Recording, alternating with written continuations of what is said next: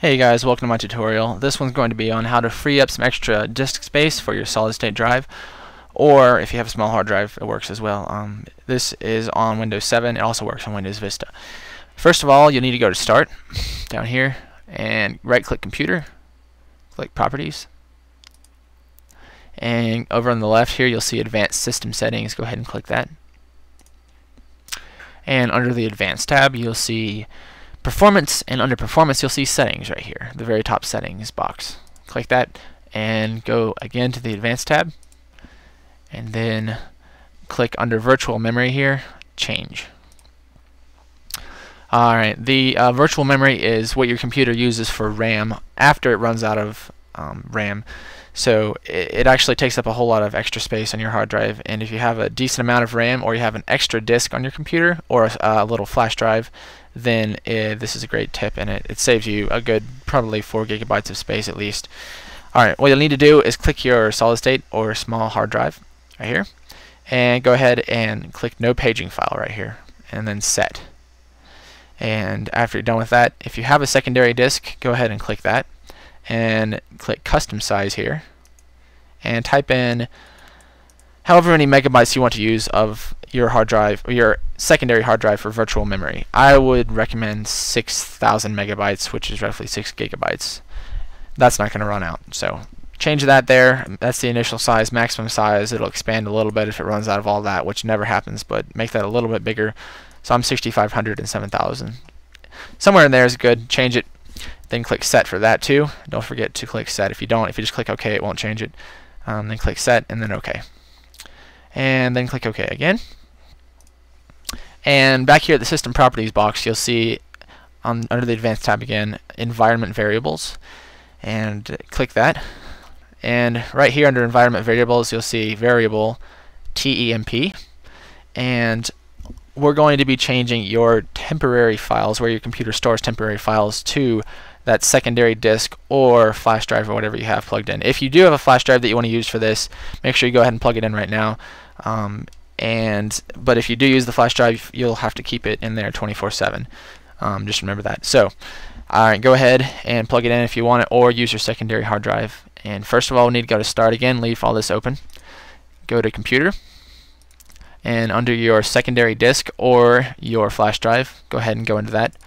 And right click and create a new folder and type in under the folder name TEMP for temp. And I already have a temp folder so it won't let me do that but um, um, it'll, it'll work fine for you guys. So go ahead and, and uh, make a temp folder TEMP then go back to your environment variables um, spot right here and go ahead and under variable temp click edit and what you need to do is type in your drive letter. Uh, mine's D. If yours is a different letter it should tell you under computer. Like it says right here D and if you have a flash drive it'll be probably be E or F. But anyway change this to D or F or whatever your um, number is for or sorry letter for your disk. And then colon slash temp which is the name of the folder you just created click OK and then do the same for TMP click edit and then change it to D colon slash temp or E or whatever Click OK, we're all done with that. And go back, click OK again.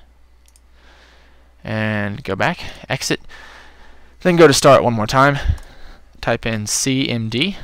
That's not N, CMD. And you'll see this little thing pop up. Don't hit enter, right click it, and click run as administrator. That'll open up the command prompt. And what you'll need to do here is this is going to disable your hibernation file for your computer or reduce it actually. But if you use hibernation don't do this. I don't use hibernation. I don't really think it's that useful. But uh, this can save you some extra space too. So if you don't want to disable it go ahead and skip this part. But what I'm going to do is I'm going to type in power CFG dash H space off oh, space between the power CFG and dash H as well so power CFG dash H off and hit enter. That turns your hibernation off so you can no longer put your computer into hibernation mode, which is not that useful anyway, but who cares. Anyways, alright, go ahead and go ahead and type in power CFG again. dash H again. This time, instead of off, you're going to hit dash size. And then type in 50%. Now that what that does is that reduces the file that your computer is storing on your hard drive or solid state drive to 50% of its normal size. And so you can save uh, half the space that that was using which is probably a gig or two gigs somewhere in there. Hit enter. And it'll give you the message if it works right that the hiberfile size has been set to blah blah blah blah blah blah blah bytes alright so now you've reduced your amount of space that, you're, that is being used in your solid state drive I was able to save up I think about seven or maybe eight gigabytes from doing these three tips. I found them to be uh, very useful little little things to do with my computer. Um, hope this has been helpful. If you guys have any more questions or want me to do a tutorial on something specific, just uh, drop me a message or post a comment on the video below. Alright, see you guys later.